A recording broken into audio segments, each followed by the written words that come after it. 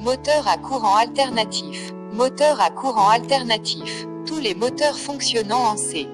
A ont en commun l'existence d'un champ magnétique tournant produit par les enroulements du stator.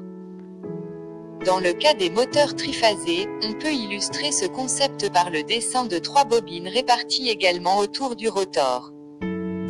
Chaque bobine est reliée à l'une des trois phases d'une alimentation électrique triphasée, figure 4 à 1.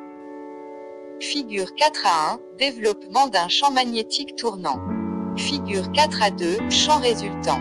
Le courant traversant chaque bobine varie de façon sinusoïdale avec le temps et il est déphasé de 120 degrés par rapport au courant des autres bobines.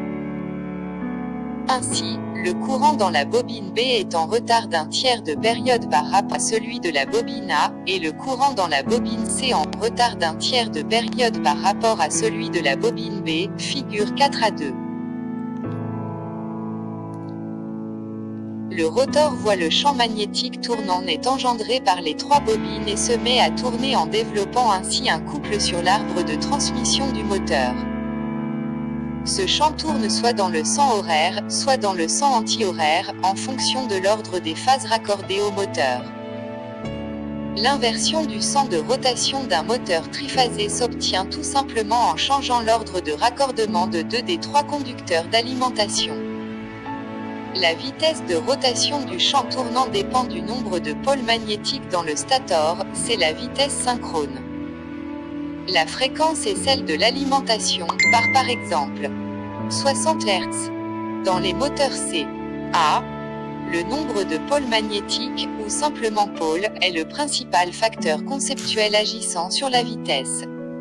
A, moteur à induction triphasée. Le rotor d'un moteur à induction ne tourne pas à la vitesse synchrone, c'est-à-dire à la vitesse du champ magnétique du stator, mais il existe un léger décalage temporel entre les deux vitesses.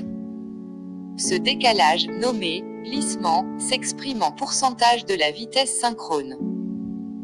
Le glissement du moteur est le résultat de l'interaction entre le champ magnétique du stator et le champ magnétique créé par les courants induits circulant dans le rotor. Les barres du rotor coupent les lignes de force magnétique et produisent ainsi un couple moteur. Quand le moteur ralentit, c'est AD. Lorsque le glissement augmente, sous l'action de la charge ajoutée, le couple engendré augmente. Les moteurs à induction triphasée sont très robustes et très fiables, c'est d'ailleurs le type de moteur le plus couramment utilisé.